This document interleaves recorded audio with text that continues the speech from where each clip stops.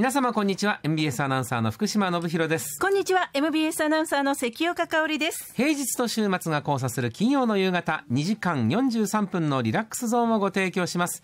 福島信弘の金曜でいいんじゃないのお時間がやってまいりました。今週は MBS ラジオは秋祭りが行われましたね、えー、水曜日祝日の日でしたが、ね、文化の日ということで、うん。うん、えー、ラジオは秋祭り、はい、いつもですとね長い公園にみんなで行ってねみんな集まりまして、はい、でテントもいっぱい立ててねいろんなブース出して。食べ物いろいろあってね。そうですね。アナウンサーはカレンダーをそこで売ってね。そうですそうです、ね、もう。毎年ってましたね。はい。もう関岡さんから買いたいというこう長蛇の列が出来上がってね。い。やいやノーノーノーそんなことはない。そういうような、ね、いやそれ福ちゃん行ったらバーンもう皆さん集まってすごかったですよ。それはもうね関岡さんの方がすごいですよ何をお互い言い合って？え誰もそんなことは聞いてないっていうの。数少ないね本当に、もうあの、既得な方が皆さん買ってくださいまして。本当にありがとうございますなと思ったりしておりますがね。カレンダー出ておりますそうですね、はい、まあそういう秋祭り毎年行ってるんですけど去年からオンラインのスタイルになりまして今回2回目ですねはいはいね、オンラインになったのは。その何？あのスタジオっていうかまあね BFS っていう地下のスタジオでしたけど、あそこで喋りながらも、その姿が映っているというね。私まあうちでも見てましたけれども、あれどうですか？しゃ喋ってる感覚っていうのは。なんかねテレビともまた違うんですよね。ねあの、テレビほど気は張らず、はい、かといってラジオほど気も緩まず、はい、ラジオ気が緩んでるのかというねそうそう。お声もあるかもしれませんが。まあ緩んでんの？この、まあ、緩んでますね。ゆるゆるですよね、まあ、聞いててわかるでしょみんなね。もうゆるゆるですからねどう考えたって、えー、まあ、この番組はね、はい、特にゆるゆる、ね、ラジオの感じともまた違う。ちょっとだけこう非日常な感じがやっぱりありまして。そうです。みんなメイクもきっちりしてお洋服もねきちっとしたお召し物でそう、えー、いらっしゃったでしょ？かねそういう人もいました。そういう人もいました。多かったよ。あそうでした？福ちゃんちゃんとした格好していつもの、いつも通りそうですね。ね。近藤さんもいつも通りでしたかね割と、まあ、おしゃれですからねこんちゃんは普段そうですね。松谷さんだけちょっと濃いめに塗ってましたか？うんちょっとだけ濃いめに塗ってましたかね、まあ、向川さんは？向川さんもいつもより多分1.5倍ぐらい塗ってんじゃないですかね多分。はい、何をかは知りませんよ。無比かもしれないしね。何浜村さんのね、はいはい、あのオープニングでの会話の中でそういう話出てましたね。浜村さんがやっぱり夕方になったら剥がれてるっていうねとかいう話。体重2キロぐらい増えてるって言ってましたからね。そうそうあの本当浜村さんもこうビシッとね、毎度おなじみの衣装でご登場でピンクが生えていました。秋祭り楽しんでいただけましたかね。本当でしたら本当ねもう今は新型コロナウイルスもだいぶこう落ち着いてきてる感じもありますし、でちょうど天気がものすごく良かったんですよ。そうですね。これがねだったらもう長い公園でやったらいいのにみたいな声もありましたが、まあいろいろ大事を取りましてオンラインということになりましたけれど、それなりに盛り上がったんじゃないかと思いますね。大勢の方に配信も見ていただきました、嬉しいですよね。それに、昨日よ福ちゃん。そう昨日の夜も。そうですよ。それが11月3日の話だったんですが、はい、昨日11月4日、うん、私の中では3日よりも4日の方がもうメインステージと思ってましたからね。気合入っておりました、はい、もう気合入ってたと楽しみでね、楽しみ。はい、うん、あの特別番組といいますか、まあ、はい、よなんていうのかこれまた微妙なんですよ。レギュラーでもない、うん、けれども初回でもないと、ね、そうね、はい、もうね。5回ぐらいもやってる番組で。すでにね、はい、普段着談義っていう番組を、うんゴゴスマの司会石井亮次さんもともと CBC という放送局にい。たアナウンサーだった人ですが、はい、今タレントさんの石井亮次さんと二人で、うんね、今ゴゴスマで喋ってますけどね、ね、偉そうな顔をしてパネルの前で。まあそりゃそうでしょう。はいなんかいろいろ喋ってますけれども、えー、昨日はもう本当 MBS のスタジオにだからゴゴスマ終わってすぐ新幹線乗ってきてもらって。はいはい、うん、あれ放送がえっと何時から？えっと5時 ,5 時あれ？5時5あれ？何時だっけな？6時前からそう5時50分ぐらいだったんですかねねあたりからスタートして、はい8時。5時54分か。5時54分から放送スタートしてで、まあ、石井さんといつも通りわーって喋って、はいはい、で中にあの前田遥アナというねそうですね、えー、今年の1年目のアナウンサーですが、はい、がまあ途中でちょっと入って手伝ってくれたりもしてたんですけど、はいはい、ゲストが2人いましてね、はい、1人が若狭圭一さんという CBC のアナウンサーなんですよ。えー、この方がまた上手でね。当にお上手ですね。ねいや素晴らしかったです。聞いてても。いい話いっぱい聞けました。いやお勉強になりましたよ。ね自然。自然がいかに大事か。大事か。そこまでに至るには。うまいで止まっちゃいけないんだと、ね、アナウンサーってのはね。ねうまいで止まっちゃいその上の自然になるようにしなくちゃいけないっていうのをね。心情にしているというふうにおっしゃって、そでその若狭圭一さんが電話出演してください、はい、それからね MBC、はい、南日本放送、え MBC、MBC ですね、はい、CBC と MBC、はい、のその MBC の、えー、岩崎さんというですね、はい、岩崎浩二アナウンサーという方が出てくださって。またこの方もね。この方もまあ優秀なアナウンサーですよ、うん、香川のご出身と。であのだから香川県のご出身ですけどね、ね、はい。でもう4人とももうなんかエンジンかかっちゃってね。いやでもね、うん、私もちょっと聞きましたけども、うん。もう何あの緊張感というかいや楽しんでいる皆さんですよ。ね、だけどその中にやっぱりみんな同じ土俵のアナウンサーでこうやっぱり喋りについてこう、うんまあ、何を芸をこう出すっていうような、うんうん、なんかねこう普段私たちがこうやって喋ってるのとはまた違うね、はい、そうでしょう。緊張感。私でもね 思い出したのはやっぱりアドリブランドを思い出したんですよね。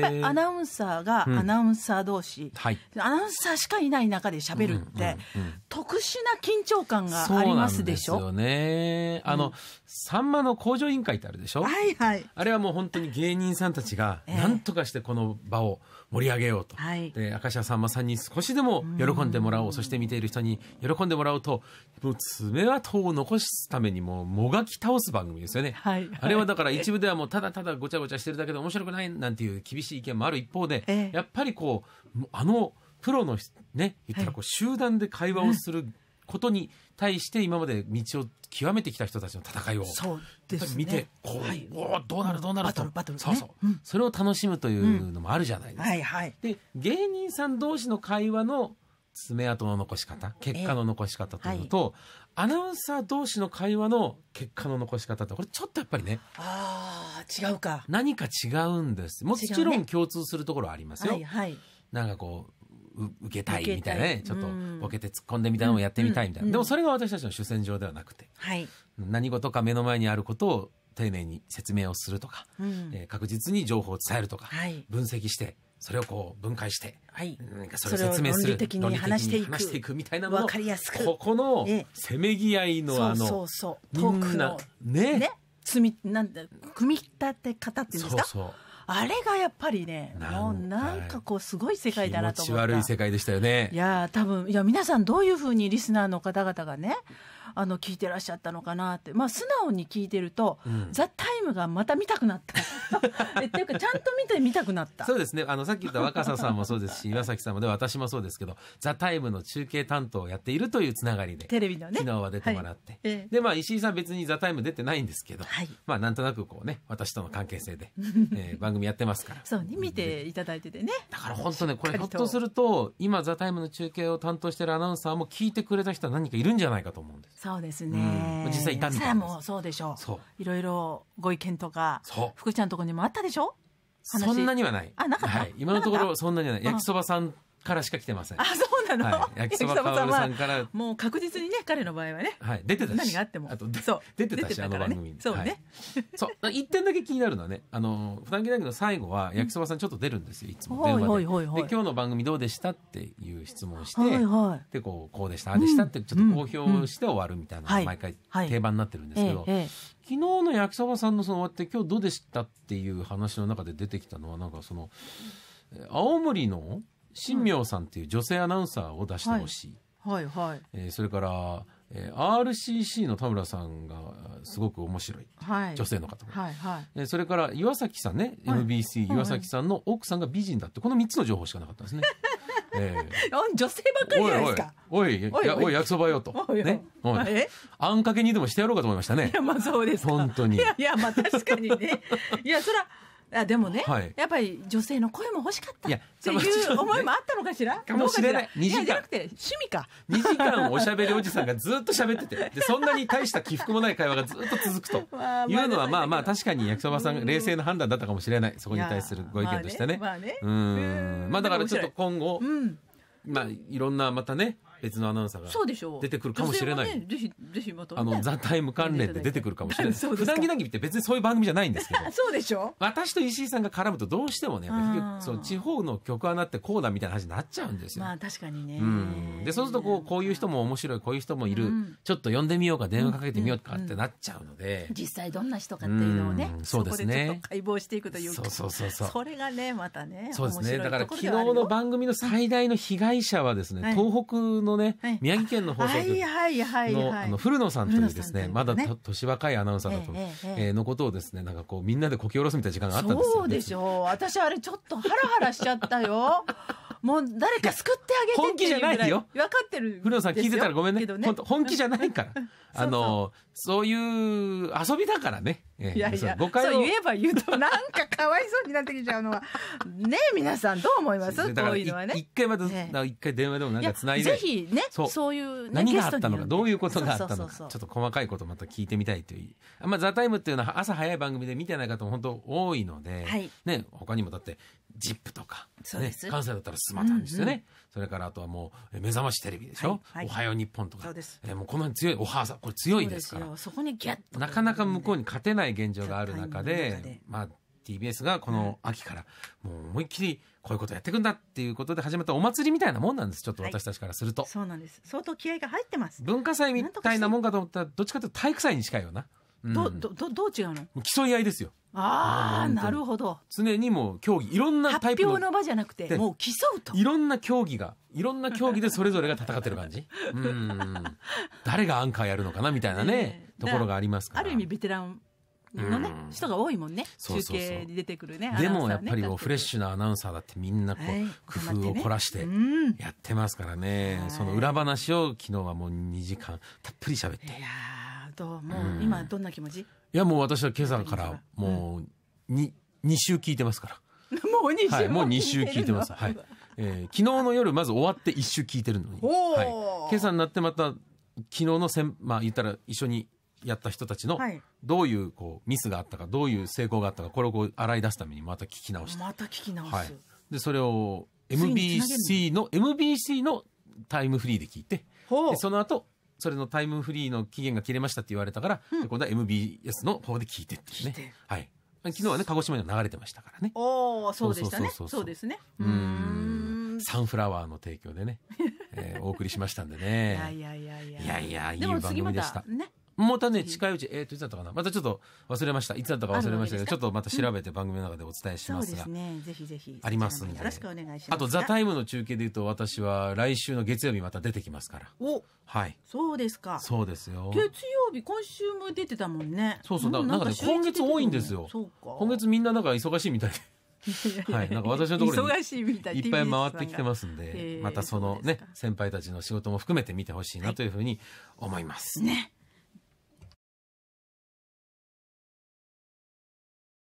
福ちゃんのお話いいんじゃない？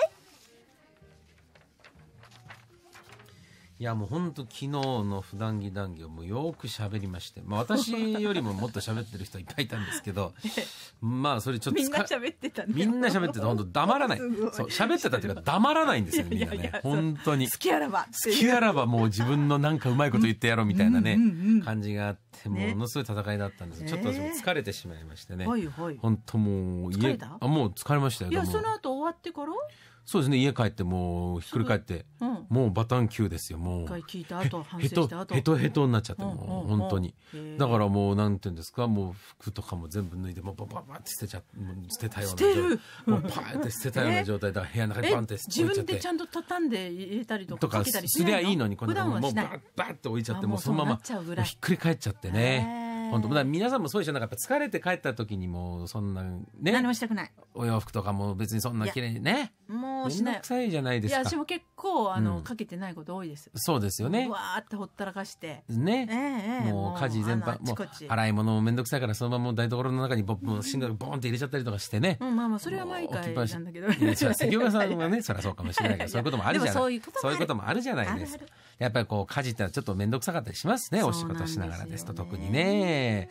そんなそのこう家事を手伝ってくれる強い味方と言いますとやっぱり家電でしょ？あまあ家電製品はもうこれないとねね。生きていけないそうですよねもう。本当に毎日生活必需品っていうレベルでしょもね。そうですよ。冷蔵庫なかったらえどうしよう、ね、お肉食べられないよ。そうですよ、ね、魚どうやって置いておこう今洗濯板でゴシゴシ洗濯してる人はどれぐらいいるでしょうかね。なあ見たことないね。ねよほど SDGs みたいな人しかやってないでしょ多分。いやそれでもなかなかもういらっしゃらないんじゃない？ロハスですみたいな人しかやってないわけそれともね自給自足みたいな。川で洗濯をじゃないですけど。ねそうなかなかいないでしょ多分ね。洗濯機もなかったら困るよ。まあお掃除なんかもねやっぱりこう、うんなんていうんですか？ほうきとちりとりではきし,、してってなあんまいないでしょ今。いやもうやらないね。座敷ぼうきみたいので。モップでやるとかね。やるとかね。高いとことかありますけども。やっぱ床やっぱり掃除機かけててやるじゃないですかね。もう家電なしには私たちはもう生活できませんが、辛い。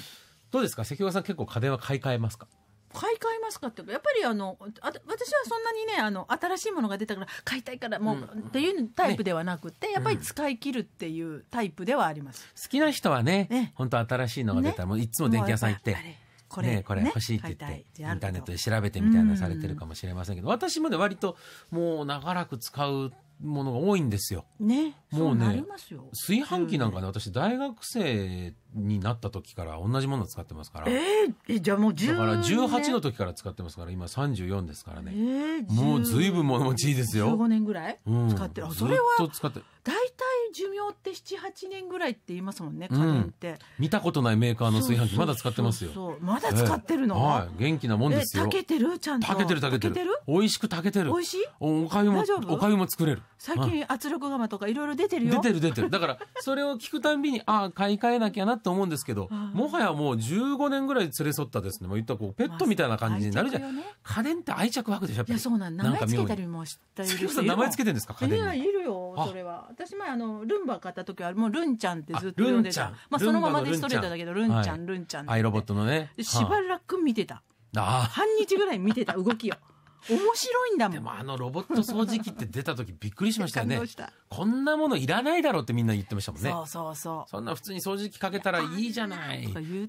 ゴミなんか吸えるわけないよって言ってたけど、もう最近だいぶまた進化をしていてありがたいよ本当に、ね。うん、本当に今家電の進化で相変わらず本当に伸び続けているらしいんですけどでも最近本当買ってないのでどれくらいこう進化してんのかなっていうのはすごく興味あるな。そうでしょ？最新化でこれやっぱり皆さんもね、うん、日常生活に通ずるものなのできっと気になるんじゃないかなと思って、うん、私もまあいつもねあのマコモタケとか あのその鶴紫とかね、ええ。ー、そういうジッパーみたいなそういう話ばかりしてますけれども もうちょっと皆さんが身近に感じられるね、えー、ものをご紹介できるのもあるんじゃないかと思って。まあ、ジッパー身近だけど、ジッパー身近だけど、ジッパー作ってるところはあんま身近じゃないでしょ。まあ、そこはいかないわな。うん、そうそう確かに。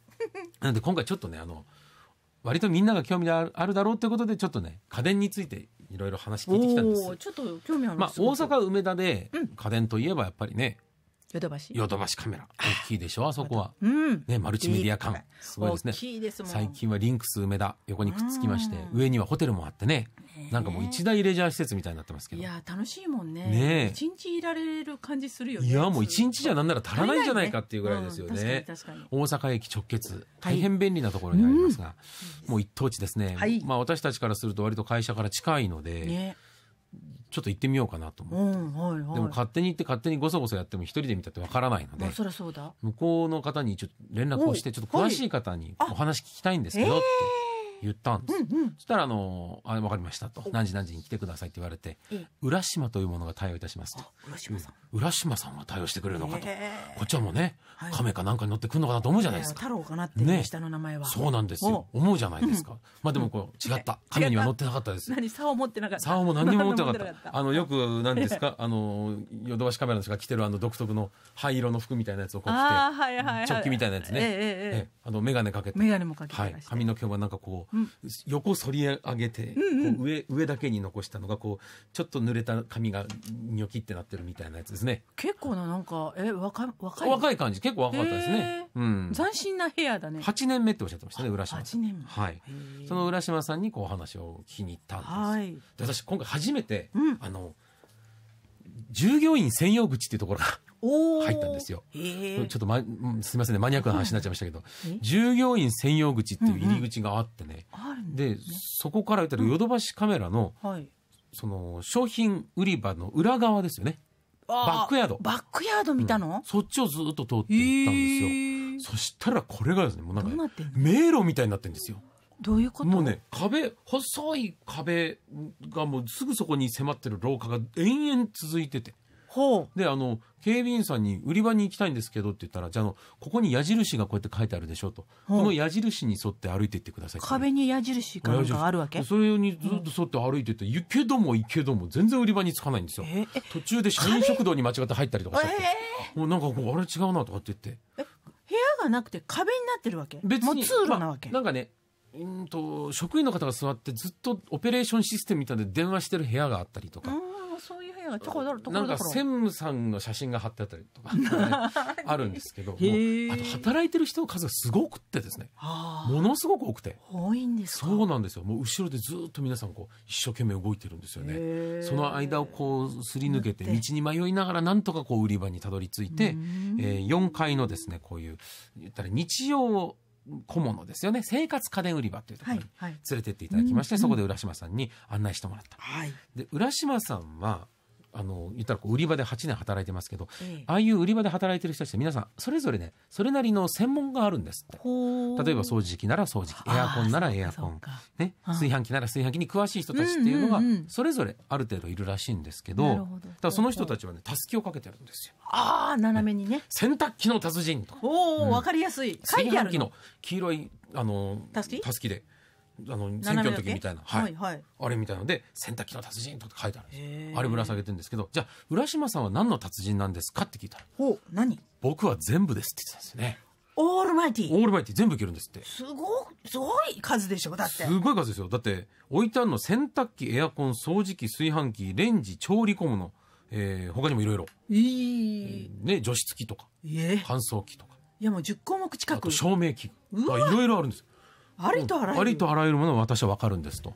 すごい。もうだから浦島さんレベルになるともう、もう、たすきもかけてないですだから、その、いちいちなんとかの達人なんて言うのがおこがましいみたいな。そんなレベルじゃないという。もう誰に家電の達人ですよ、だからもう。その浦島さんに教えていただいすごい。まあ、本当の本当に得意なのは掃除機らしいですけどね。うん、で、まず教えてほしかったのは、はい、今、家電で一番熱い売り場はどこですか、うん、熱いホットな売り場はどこですか？どこだろう？うん。なんだろう別に暖房売り場じゃないんですよ。一番ホットな売り場どこですかっていうふうに聞いたら、洗濯機売り場だというふうに教わって。なんで洗濯機？なんでなんだろうと思ったら、ここ最近洗濯機の、その、開発、新商品の出方は、なかなか目覚ましいものがあって。へえ、そうなんですか。うん。え、全然知らなかった。関岡さん洗濯機はもう今どれぐらい使ってます？いや、もう3、使ってるかなっていうのは一回ね前使ってたのが、うん、もうそれこそ15年ぐらい使ってたんですよ、うん、以前使ってたもの、だそれが壊れてしまって、うん、で買い替えたっていうのが実情で、うん、でそれで3年ぐらいかな。割とね3年だったら最近じゃないと思うかもしれませんが、この1年2年ぐらいで実は洗濯機には大きな革命が起こっていましてね。あれから？はい実はですね洗濯機は、まあ、今ねドラム式がすごく売れてるんですよ。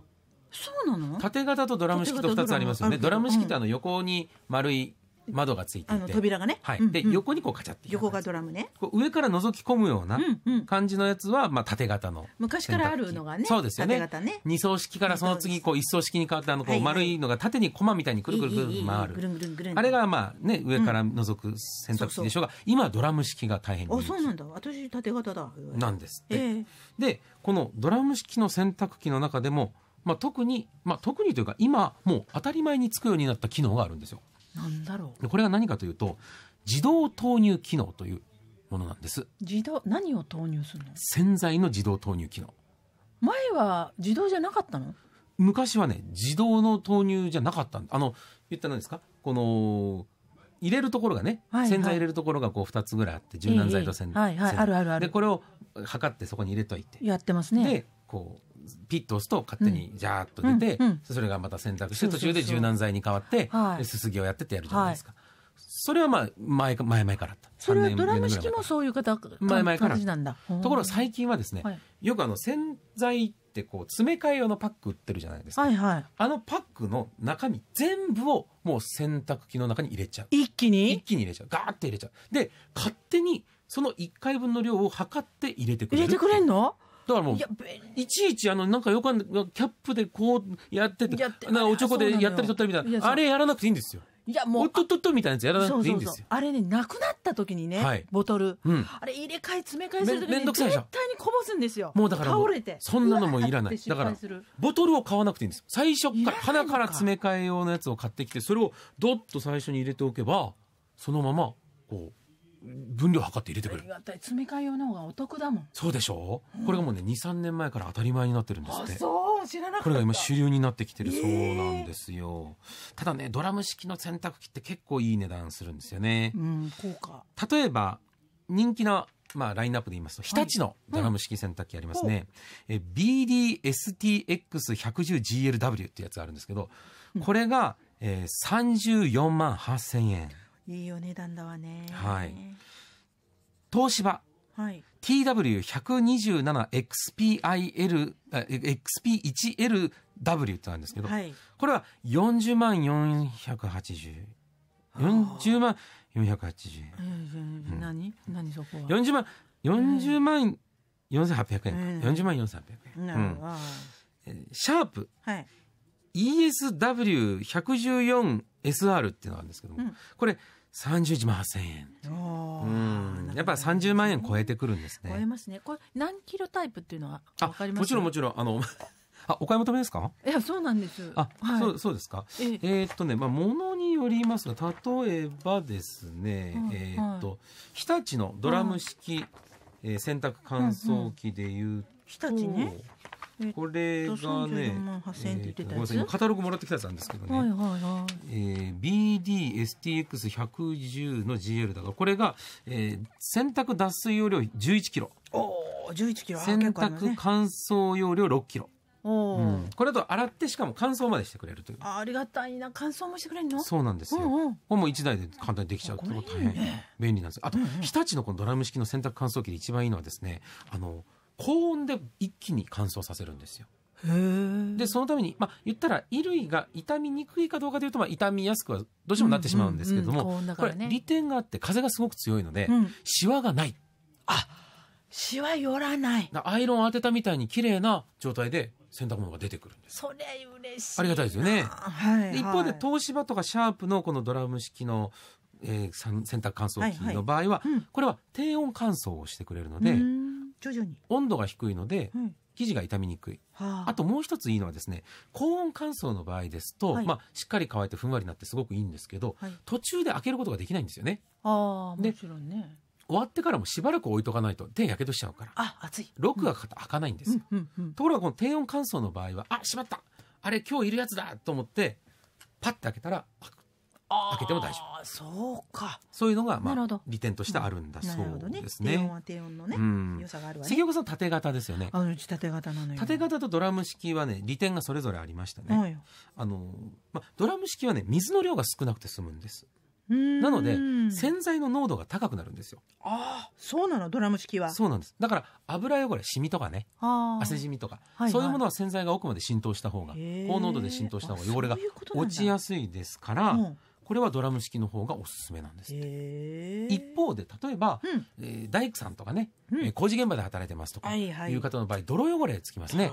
息子がサッカーやってましてとか、はい、えー、なんかそういう野球部でとかいう人たちは泥汚れがつきます、泥汚れはドラム式よりも実は縦型の方がいいんですよ。泥は縦型。これはね多い水でジャブジャブ洗ってくれるので繊維の隙間に入ったゴミを取り除くっていう意味では縦型の方がいいんですよ。はあ、特徴がそれぞれある、ね、それぞれあるそうなんですよ。いや知らなかっただからドラム式が最新だから絶対ドラム式の方がいいってことはない。でもないんだね。そうそう。泥汚れが多いわっていう方は縦の方がいい。うんうんうん、油汚れが多いわっていう方はドラムの方がおすすめとそうかそういうのがあるんですようちの場合油の方がだんだん多くなってるんでねそうです、ね、食べこぼしとかが増えてるからいやだからやっぱりドラム式かな え？いやそう切実。いやそうでしょ。そうですね、そうそう。そうだんだんだんだん人間食べこぼし増えますもんね。増えるのよ。本当に口の緩みや服の汚れにつながりますからね。そうですよ。ね、そういう方にはだからドラム式おすすめなんですよね、しかも自動投入ですから楽々という、ことなんですよね。まあ、縦型もいろいろ今種類出てましてね。あの、洗い方、洗浄の仕方にすごい差が出てて、日立ですと、ナイアガラビート洗浄っていうのをやるんですよ。ナイアガラビート洗浄？店頭で見られるんですけどね。ああの洗濯槽の中で普通はこう、ぐるぐる回ってるわね。回ってますわね、はいはい、そこでこう水流が生まれて現れるわけなんですけど、この水が一回上に上がってで洗濯機のそうですねこう周り？縁のところから内側に向かってナイアガラの滝みたいにジャバーってこう出るんです。上からこう下へジャバーと。って出るんですうわでそれでだからぐるぐる回る下からの水流と上からの水流とありますからしっかりと洗えるっていうナイアガラビート洗浄っていうこれ日立の強みなんですね。なんかおしゃれだな。パナソニックの場合ですと泡洗浄っていうねちっちゃいこう泡バブルを作りまして、これでこう汚れを浮かして取るっていうこういうのがまあ強みだったりするらしい。でシャープの洗濯機。これ縦型の話ですよ、全部。縦型のシャープの洗濯機の今の売りはですね、穴なし水槽っていう穴なし水槽うち穴なし穴なしですか？穴なし水槽。そうですか。あの要するにカビがつきにくいよ。っていう。そうですね。そうですよね。じゃシャープをごってことですね。Yes. ああそうですシャープです。あれ洗濯槽ってね 中にはだいたい二層式になってましてね、はい。はい、ほんであの内側に金属のねなんかこうやつがあってそういう穴いっぱい入ってますね。普通はねなん。かねあの穴開いてるところから水をビュって出すことでまあ水鉄砲みたいな感じで水流を生んで汚れを取ってるわけなんだけど、ね、シャープはそれを下からの水水流だけで十分汚れを落とすことができますよっていう技術を開発したわけですね。そうなってんだね。そうなんですよ。だからまあ縦型は縦型で今も進化してて、で縦型もその自動投入あるんですよ洗剤の自動投入。あるの？もう全部パック。もうなんなら今ほとんどがそっちって言ってました、ね、あそうですか、うん、それついてないのは逆に売れないぐらいの勢い。いやもうなんかまた買い替えたくなってきちゃった。そうですよ。私もなんかだんだんね30万40万ってえ最初高いと思ったけど、うんうん、もうこの浦島さんの話聞いてたらだんだん時が 経つの忘れてしまってね。もうなんかあっという間になんかこれ安いんじゃないかという気分になっちゃってね。本当に買いそうになりましたよ危うく。いやそれこそ福ちゃんのところの洗濯機ももう長いんじゃないの？もうねあれもね11年使ってますね。あもうなかなかよ。長いです。変えなきゃいけないんです毎着との戦いだね。そうなんですね。あただそのドラム式とその縦型の違いってこういうふうにあるって言いましたけどもう一つ大きい違いがあって音の違いがあるんですよ。洗濯する時の音。音がするかしないか、うん、これね、まあ、考えてもらえば分かると思うんですけど例えばねコマ回すでしょ、はい、シュって。コマ回す時に音しないでしょ別に。しないうん、全然しない。ブルンぐらいですか、縦に回るとそんなに横に揺れたりしませんから。しないね。音がそんなうるさくないんですはいはいはい。一方でドラム式って横に軸受けがあって、うん、こうぐるぐるぐるぐるハムスターがこう走るところみたいにこう回転するわけじゃないですか。前にね。あれうるさいでしょ？あのカラカラカラカラカラ。いやあれカラカラなるようななんかあるんじゃないの？じゃなくて？なくてもだってやっぱこう軸軸が上下しますからそれがカタカタが当たってカラカラカラカラカラって音するでしょ、はいはい、でそのカラカラカラカラっていうのが金属のしかもでっかいやつですからもうガタガタガタガタガタガタってやっぱなっちゃうんですよね。あそう。重力がやっぱり上下に働いてますからどうしてもこう音が出てしまう。パタンパタンパタンにやっぱりどうしてもなってしまう、うん、でそのねその縦型の洗濯機だったら中で洗濯物も同じ方向に、同じ方向に横に動くからまあ静かなんですけど、このドラム式の場合ですと縦の動きと横の動きとがあるからちょっと音はうるさくなる上から落ちるこのね、音がするわね。少しだけ音は大きくなるらしいです。そうなんだ、でじゃあ各社どういうふうにこの音を消すかっていうところでみんな頑張っていて、うん、このドラムのこのぐるぐる回るものの下にサスペンションっていうのをこうつけてね言ったらこう振動をできるだけ起こさないようにしてそれで音を小さくしたりする。で今そのさらに洗濯機を置く下の台ここのところにも音を出さないようなものをかまして。ゴムのなんかそういうの、ね、はい、かまして音をさらに少なくするっていうようなこともやったりしてるそうですよ。静音ね。今だそういうのもあるみたい。集合住宅も増えてるしね。住んでるとやっぱりね、うん、気になりますし、夜にね洗濯機回したいんですよ。多いですよねそういうことはね。えー、うん。だから音は気になるね。そうですよね。まあだからどうしても音に敏感な方は縦型の方がいいんですけど、うん、まあドラム式だからといって今集合住宅でうるさいよって言われるほどではない。あじゃあもう安心じゃない？やっぱ各社頑張ってますからね、ね。敏感な方はそういうの気をつけたらいいんじゃないかなという話もありました、あとドラム式の難点もう一つ言うとドアの開く方向ですよね。あ右か左か？右か左か。えそれ差があるの？だってお家の作りによっては右に開かないと洗濯物取り出す大変。あ確かにね。大変っていうとこあるじゃないですか。扉のねすぐそばに置いてたり壁の位置とかね、お風呂の位置によってそれ面倒くさい。そうか。あるじゃないですか。この扉の右左これ気をつけなくちゃいけないんですが、はい、ご安心いただきたい。これは各メーカーですね右開き物と左開き物、うん、両方ラインナップ揃えてるところはあるらしいです。あそうですか。じゃあうちは右だから、って言ったらちゃんとそっちの、はい、じゃあそちらを持っていきましょうっていうところは、まあ、も。ちろんね片方だけしかないメーカーもあるんですよ。なんですけど右開きと左開きそれぞれラインナップで用意しているっていうメーカーが結構あるらしいのでその辺はちゃんと確認をした方がいいかもしれませんね。はい、ねそれはね。もう洗濯機だけでも結構面白くって。いや楽しいねそうなんですよ。そうなんだと思うことがいっぱいあったんですけれども、はい、その次ですよ。洗濯の後今度はお掃除ですわ、うん、掃除機さあ浦島さんの専門、うん、掃除機も教えてもらいまして。きたきたこれに関してはまたね後ほど4時台にお伝えしようかなと思います。はい。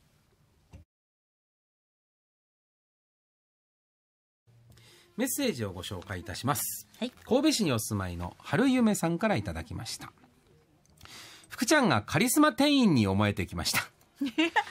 一日で洗濯機の一押しポイントをしっかり熟知してきましたね、うん、関岡さんこのまま洗濯機一台お買い上げされそうですね。本当お買い上げしたいわ。新しいのってなんかウキウキするじゃない？見たり聞いたりしちゃうと本当にね。欲しくなるよ。そうですよね。私ドラム式は手出したことがまだないので。そうですか。今置けないんですよね、うん、ちょっと狭くてね、ね、スペースが。あのドラム式も小型のものはあるみたいですよ。でもね相談したらねうちの形は、うん、あの家の幅的にはちょっとドラム式は難しいですよって言われてだから余計に欲しいんですよ。じゃあもう次回はリフォーム会社にちょっと取材にかければ、ね、いやいやいやいや、リフォームね。まあ油汚れ増えてきたからさ、ドラム式に変えたいところもあるわ。え えー、まあ確かにね、これ洗濯機、うん、私も欲しいなと思いましたよ。じゃな。うん、ね。それからですね、えー、まあ、泉市のつぶあんこさんから頂いております。我が家の洗濯機、洗濯が終わると10回中9回エラー音が鳴ります。え？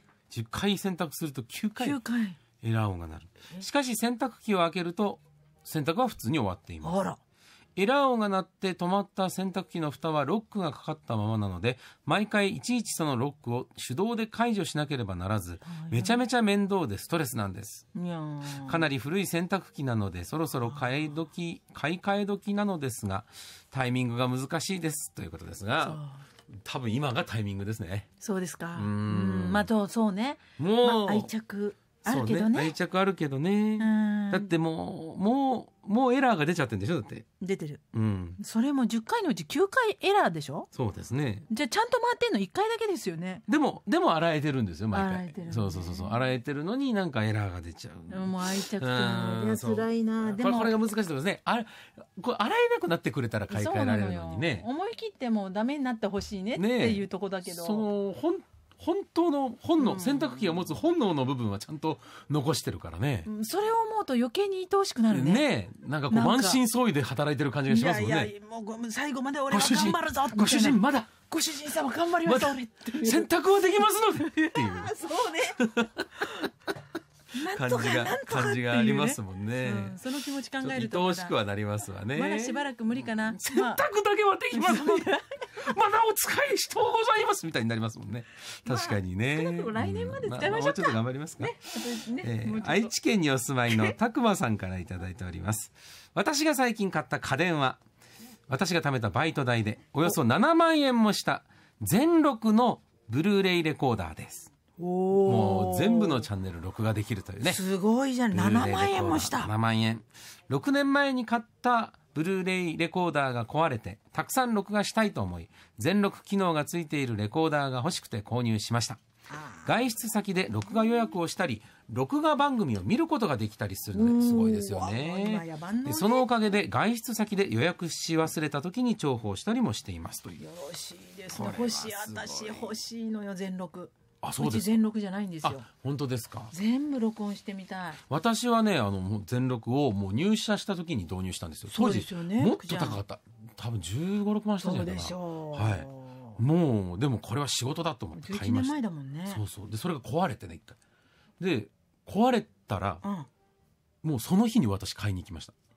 その別のやつを。即に、うん、っていうのはなんでかというとないともう困るんですよ。困る？もうもうあのテレビが見られないから。自分が見たいテレビが。ああ見られないからってこといや番組は見られるんですよ、うん、しかも普通に録画できる普通のブルーレイレコーダーを横に置いてるんですよ私。そそれそれはそれで機能してんだけど、うん、もう全録で撮ってあるというその事実に慣れすぎちゃって体が。ああそうか。だから足りなさすぎて。そうなんですよ。ああその気持ちはわかるな。別に自分が本当に見たいと思ったら番組まで見られるわけですよね。そうよね。そうそうで他局の番組もチェックできる、うん、なんかよくわかんない。沖縄の魚が深夜にずっと泳いでる映像とか、えーえ。ー、ああいうのも ああいうのも見たいわけですよ。それだけのチャンネル数っていうか番組数見られるわけだからね。そうなんですそれが見られないとなると。そうなんです寂しい。結構問題ですぐ私は買いに行ってしまいました私はもう全録なしには生きていけない体です。いや私、は全録なしでその体になりたい。私もう一台欲しいぐらい。あそう。地上波プラス BS 撮りたいから。BS も撮りたいね。2台かもう今2台目検討中です私は。BS も面白い番組たくさんあるからね。多いですよ。そこにまた意外な人が出たりするからね。そうなのそうなの。テレビは面白いねテレビは、ちょっともう一つご紹介したいんですけど、えー、名古屋市の緑区にお住まいはやちゃんのおばさんさんからね、うん、掃除機が気になりますと、はあ、掃除機。私は昔ながらのパック式が好きですが、うん、主人は直接ゴミを捨てるタイプの吸引力のやつを押していまして舶来物を使っております舶来よろしいですね。舶来っていう言葉好きだな。舶来の掃除機をお使いということなんですが。さあ掃除機ですよ。いや掃除機来まそこですよ。掃除機についても教えてもらってきました。はい、お願いします。そこぜひ。今人気の掃除機で言いますと、うん、関岡さんは何だと思いますか？え？ー、うん、いやそれはやっぱり私も実は今のメッセージの方と同じ。うん紙パックが好きなんだけど。ですね。わかる。やっぱりあれでしょう今、流行りはやっぱりサイコロン。ああ。そうですね。じゃないの？サイクロン式の、サイクロン式じゃない、掃除機流行ってます。流行ってるでしょ？その中でもやっぱり一番人気はダイソン。ああ、来たダイソン。ですよね。そうなのよ、ダイソン。もう大体、私ダイソンじゃないです。あそう。大体この掃除機買い替えたいんですってやってくるお客さんの3割以上はダイソンが欲しいっつってくるんですって。うんうんうん、で、じゃあ実際どういうものが売れてるかっていうのをまた教えていただいたんですよ。で、さっき言った紙パック式の掃除機ね。はい、普通掃除機って言ったらこう、ボテッとしたなんかあの、なんかね、大きい丸い胴体のものがあってそこにノズルがこうのねホースがこうついててでその先にこうなんか横の T, T 字になってるカミソリみたいな形みたいなやつこれでゴーってあれがねでこう赤と黄色のテープがついてるコードをビーって出して。はいはいでこうボタンを押したらシュシュシュって戻るっていう。あれ？戻りにくいんだよね。押しても戻らないからもう一回引っ張り出してそうそうシュシュシュってあれあれもあれがまあ昔のねイメージでまだ今もそのイメージの方多いかもしれません今うちもまだそれだよそうですよねどっちかというと紙パック式が一番ねやっぱり安心という方いるかもしれませんがぜひそういう方は電気屋さんの掃除機売り場に行ってみていただきたいのはもうほぼその掃除機は売っていません。今もうなくなってきてんの？ほとんどないです。ないの？台数でいうと本当少ないですよ。寂しい。もうね昔掃除機の売り場っていうとそっちの方が多くてスティックタイプのやつがなんか、ね端っこの方ですねすいませんみたいな感じでいたじゃないですか。もう今はもうなんもう幅利かしちゃって、えー、スティックタイプであらざるもの掃除機にあらずみたいな顔しちゃって。いやいやいや、えー、すごいですよ。それは悲しい。もうかわいそうに。いやあのもう昔ながらの紙パック式たちはもうあ完全に追いやられてもうゲアしたような状態です、いやだってあのね、うん、紙はねもうゴミが取れてるっていうのがよく分かる実感がね実感湧くのよ捨てる時に。で昔からねこうあの紙パック式じゃない掃除機なんていうのは吸わないと。そう吸引力が弱いと。思っておりましたが違うの？もう今時代はそんなことになっておりませんなの？まあ吸引力強いです今。私吸引力がないと嫌なの。その吸引力を持ち合わせたスティックタイプのしかもサイクロン式のものが大変たくさん登場している。その人たちの今群雄割拠。すごいですよ。戦国時代かと思うぐらい。キラ星のごとく掃除機が並んでるんですよ。そうなんだ。まあその中でもね特に今人気一番人気はですねエレクトラクスという会社の掃除機ですそこのってさ、はい、ちょっと見た目もおしゃれなんじゃない？ちょっとね。エレクトロニクスじゃない？エレクトロニクスじゃないです。エレクトラクスっていう。エレクトラクス。エクストラ、はい、エクエクストエクエレクトラクスっていう、エレクトラクス。私も言ってない。エレクトラクスっていう会社の掃除機なんですけどこれパンフレット私もらってきたんですけどこれはいこちらです。もうインテリアとしても最高じゃない？これって、ね、 Swedish Thinking Better Living って書いてあるんですけども。なんか北欧感じるな。これはですね、うん、エレエレクトラックスという会社はスウェーデンの会社でやっぱりそうなんだ、はい、1910年代からもう掃除機を作っている老舗。はあ、少なくともその今ヨドバシカメラの梅田のヨドバシカメラで販売している掃除機の中ではもう一番古いというのがこちらのエレクトラックスという、私自分が欲しかったんですけど、はい、これ自分ではもうあったのでね掃除機、うんうん、だからお祝いであげた。あ人にですか？人に。これ今一番人気らしいんですよ。昔ね昔ねだいぶ前ですけど。まあデザインがおしゃれっていうのもあるんですが、うん、一つはですね実はこの掃除機の特徴はスティックタイプなのに重たいっていうのが特徴なんですよ、うんうん、ものすごく重たい。重たい。重たい。なんだけど、吸引力がとても強い。あでさらにプラスここがポイントなんです今何？排気が綺麗なんですって。ああ、あれ匂い臭い時ありますもんね。あるよ。吸い込んだ埃の匂いとか、はいはい、なんかダニの死骸の香りみたいなのが多分何これ？出てくる掃除機って昔あったじゃないですか。こっち向けないでこのエレクトラックスは出てくる空気がとっても綺麗なんですって。うんうん、なのでコロナになってから本当に売れるようになったと特に。まあ清潔安全安心というのを求める方が増えたからね。そういうことがあるんだそうです。スウェーデンの掃除機に国産の国内の掃除機たちはもう内心忸怩たる思いですわね。そうだなねじゃあそのエレクトラックスと肩を並べるほどの人気の国内企業はどこかと言いますとシャープです。はい、シャープ。シャープはですねとにかく軽い。ああ軽いのもいいんだよねシャープの掃除がでねやっぱりね軽いものを求めてくる方非常に多いんですって。いやもう年とともにね、うん、これでも動かすでしょ手を。はい。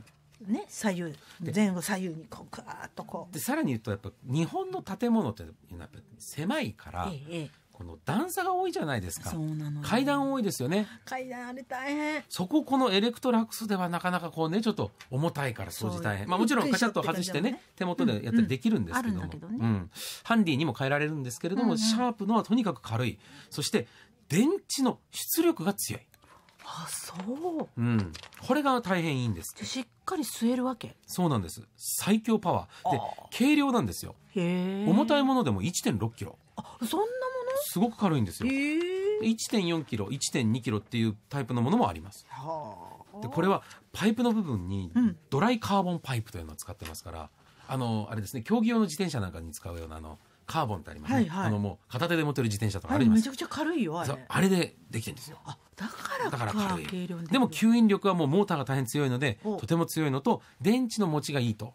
そして電池の電気出力が大変強いということでスタミナがあるっていう。ことで人気がある。あとこれはもう一つ私は日本でこれが売れてる理由はもう一個あると思うんですけど多分掃除機って何度とかクローゼットに片付けたい人が多いと思うんですよ、はい、だけど多くのスティックタイプ特に海外のものは、はい、充電するステーションがもうリビングの端っこに置いておかなくちゃいけないやつが多くてそれが結構存在感あるんですよね。そうそう。テレビの横にあったらもうなんかもうテレビより掃除機見てるみたいな気分になってるんですね。あるあるね。ものすごいある。それが嫌だという方が多分多いんじゃないかと思うんです、うんうんうん、でこのシャープの掃除機は何がいいかというとこのラクティブエアーっていうねやつはです、ね、何がいいかというと、これ充電器がとってもちっちゃいんですよ。でバッテリーの取り外しが効くんです。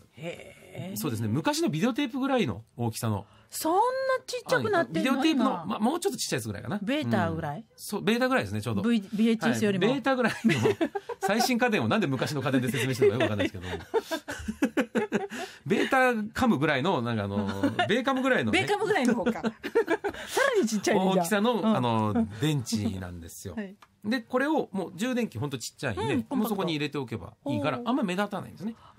で本体は何度かどっかに隠しておくか、まあ、冷蔵庫の脇に置くとかそういうことができますのでまあ大変便利。それいいね見た目もね。あとは先端のブラシに髪の毛なんかが絡みにくいっていうのも。ああこれあれ絡んだ時回らないのよ。そうですよね。あれ困るからね。そうですよね。じゃあ3位はどこかというと日立だそうです。日立日立。も人気があるそうですね。はい。ただねえれこのエレクトラックス、うん、シャープ、日立この3つ大変人気があるんですけども、はい、最近ですね人気がさらに急上昇しているメーカー注目のメーカーがあるんですけどシャーク来た。シャープじゃなくてシャーク。シャークでしょ？シャーク今人気なんですって。私これ欲しいの。あそうですか。実は。シャークはですね何がいいってまずちっちゃい細い軽いんですよ。はい。でそうだ。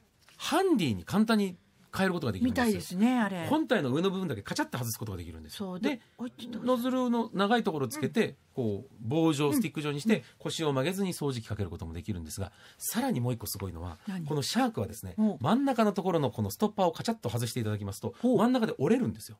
折れちゃうのあれ。折れて、折れた状態で何がこれ得するかと言いますとねベッドの下とか、はあ、ソファーの下みたいなところに潜り込ませることができるんです。狭いところへ食いだけど腰は曲げなくていいっていう。あら。ちょっとボーリング球をスライドさせるぐらいの感じでシューってこう掃除機の鼻の先を入れることができるので奥までほこりを取ることができるっていうんで大変便利なんですね。腰痛なくて変、うん、でさらにもっといいのはこれ何かと言いますと、うん、スティックタイプの掃除機の最大の難点は何かというとね、うん、充電時間が短い。そうね、充電して使える時間が短いというのが難点なんですがでこのシャークもですね15分ぐらいしか持たないんですよ1本のバッテリーで、えー、ただこのシャークは、この15分しか持たないバッテリーを2つ装着することができるんです、あバッテリーの充電器に？そうなんです。片方の充電した電池を使って掃除してる間に、もう片方の電池を充電しておくことができる。こっちが切れたらこっちと交換して、で、また入れ替えて掃除をして、うん、もうこっちは充電しておく。う。ん、こう、バケツリレーみたいに循環させて使うことができる。で、さらにこの予備バッテリーが大変お安い。何他のところで言いますと大体1万円ぐらいするのが普通なんですが、シャークのこの掃除機のバッテリーは4400円。安い。お安いんですよ、えー、そうなんです。だからバッテリー簡単に変えることができますから持ちが悪くなったらすぐ変えることができるってんで今シャーク人気あなたシャークのお方？シャークのお方じゃございません。違うの？そうなんですって。今シャーク人気なんですよね。そしてもちろんさっきおっしゃってた関岡さん言ってましたけどロボット掃除機も今人気だから。ああルルンバルンバもちろん人気。他の会社でシャークも出してますけどね、うんうん、他のところもいろいろ出してますけどね勝手に掃除してくれる。今ルンバおおすすめです。おすすめなの？アイロボットのルンバ大変おすすめ。私初期の頃なんですよ。そうですか、はい、今おすすめなのはなぜかと言いますと何？先月ですねルンバ値下がりしたんですよ。え下がったの？ちょっと値段下がったんですよ。えおおいくらぐらいいやこれね結構値段下がったんです。びっくりしました。おこんな安いんだというぐらいの金額になってて。いやなんでかわかんない。わかんない。あの値段下げたんです先月。だろう。だからルンバ買うなら今って。今買い時？今買い時しました。ルンバ今買い時？ルンバ買い時。ルンバ買う時一緒に検討していただきたいのはブラーバですね。何？ブラーバって。ルンバは掃除機ですけども、はい、ブラーバは拭き掃除なんですよ、はあ、拭いてくれんの？雑巾がけしてくれるんですよ。えちょっと待って。えそれは掃除をかけた上で？ご安心ください。ルンバとブラーバが2人仲良く並んでいる場合朝起きたら先にルンバが掃除始めるんですよ。ああ。でルンバがきれいに掃除し終わったらドックに帰るときに終わったよっていうふうにこう伝えるんですね。そしたらブラーバが「あいよ」っつってその後拭きに行くんですええー、賢いですね。もうそんなことになっちゃってんの？ちゃんとちゃんとシフト組んでるんですねそこ。いやちゃんと交代制らしいですよ。交代制よく働いてくれますね。はい。他の会社も今いろいろまた別のあの会社もロボット掃除同じようなことやってるわけ。これ見るだけでも結構楽しいです、えー、拭き掃除してくれるってすごいな。いいですよね。嬉しいなそうなんですよ、ね、誰かこれまたくれないかな。いやでもらうつもりなんです。お祝いかかねで、まあ、実はね私この後にその、えー、プレートねホットプレート、うん、これも今人気があるっていうんで見に行ったんですけども、はいはい、ちょっと時間がなくなっちゃったんでちょっと今日ご紹介が少なくなってしまうんですが、えーうん、まあ簡単に言うと人気なのはピーコックというところのホットプレート、それから山善というところのホットプレートの方が人気があるそうで今のホットプレートの売れ筋は、まあ、減塩っていう煙が少なく済むっていうのが大変人気なんだそうですね。家でね油を下に落として油跳ねとか煙を減らしてくれるっていうのが最近たくさん出てきているんですね。焼肉とかね家でね匂いがこうくるからね。ねそうそう、ね、お家でやる方も増えましたもんね。さあそんなですねまあ、家電についていろいろ教えていただいた私どもですが、はい、皆様にもお土産を買ってきております。ええー、嬉しいです。ということは家電？はい。もしかしてえ家電でございます。家電買っちゃいましたか？はい。ほら。今回、えー、皆様にプレゼントいたしますのはこちら。何？イースト EHP-M282 ミニエレクトリックラウンドグリドルです。ちょっといい。水グラスカバーです。ええー、ちょっといいんじゃない？これ。はい。これはあの言ったらちっちゃいホットプレートですね。ガラス蓋付きのミニホットプレート。まあ一人でちょっとおなお鍋じゃないかお鍋もできますけど、ね、いやでもホットケーキとかさそうそうそう朝スクランブルエッグ作るとか餃子をポンポンと入れて焼くとか餃子とかねはいそういうことに使えるちょっと可愛いこちらあの夫婦二人でもこれだったら十分にいけますね。ねこれ、まあ、二、人はちょっとどうかな。そうそう、えー、ギリギリぐらいかな。ギリギリいける朝朝？あ、朝食の夫婦だったらいけますね。そうですね。はい、なのでこちらをお一方にプレゼントいたします。はい。えー、ぜひメッセージも添えてお送りください。ミニホットプレートですね。宛先はメール金です。kin アットマーク mbs1179.com kin アットマーク mbs1179.com ファックス番号は大阪06-6809-9090大阪06-6809-9090いいんじゃない？の係まで。家電と書いて家電と書いてお送りください。もちろんメッセージだけでも募集をしています。採用させていただいた方にはいいんじゃない特製、ゆったりしっとり濡れティッシュと、ふんわりサラサラ乾きティッシュ。さらには森下仁丹さんとコラボしました番組特製ステッカーをプレゼントします。番組の公式ツイッターもあります。ハッシュタグ、腹筋。ハッシュタグ、腹筋で検索をしてみてください。